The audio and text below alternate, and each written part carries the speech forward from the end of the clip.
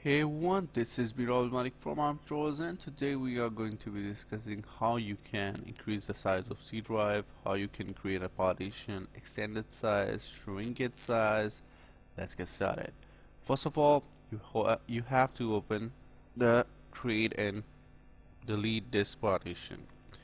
For that, just type disk partition on search panel in Windows 10 open it. It should open something like this. So now as you can see we want to increase the size of C drive because we have very less amount of size in that folder. But as you know we have an unallocated space over here in the middle of D and E and when I right click on C drive I can't see an option to extend volume. But when I right click on D drive I can. Either on E I can't see that. That is because I shrink down the volume from D drive. So in a sequence in a drive the first one is C drive then D and the unallocated area between D and E.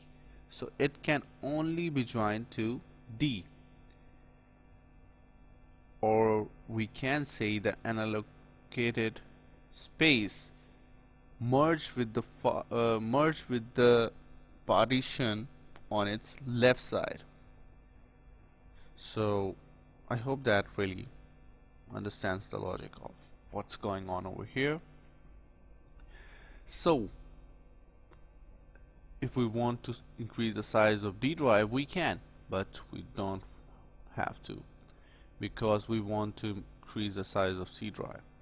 So what we are going to do is you can either delete this partition or there is no other choice. There are like softwares that I've tried but that didn't help so what you need to do you need to empty the D drive if you want to increase the size of C drive. That's the logic. You have to do that.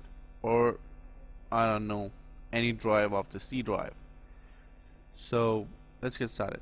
So first in first step uh, let me show you how you can create a new partition in unallocated space.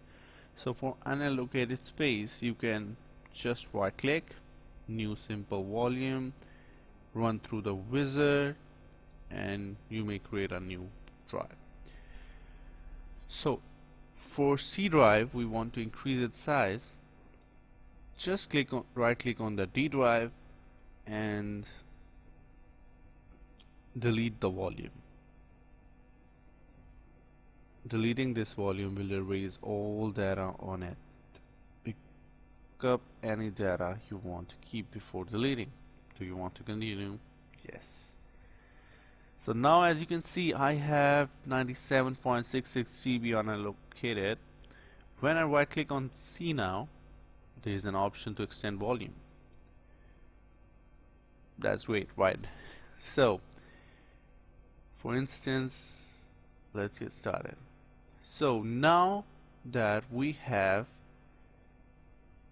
97 GB available we can add some space to the C drive. You can only extend the volume to the available space shown below before your device disk cannot be converted to dynamic or the volume being extended in a boot or system will volume. So for instance if we want to increase like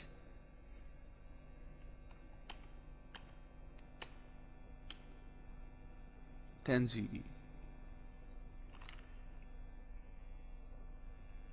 okay total volume size in MBs the total size of the C drive will become 59900 GB MB and over here we can see if we extend 10 GB in it let's make it 15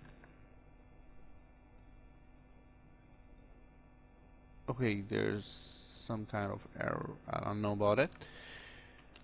Let's do it again. Disk partition. Right click on C extend volume run through the wizard. Okay so there was something like error or something I don't know.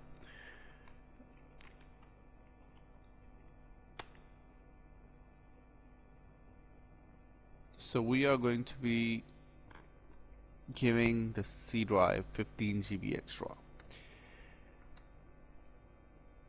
next finish and it should end up something like this. Yeah. Now as you can see we have plenty of space available in C drive. If that helps don't forget to like subscribe and share. And I'll catch you with the next one and if you have any question just ask me in the comment section down below.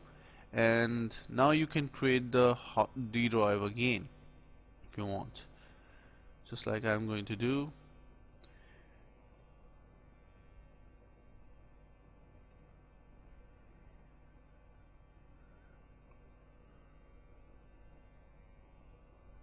Okay that's it.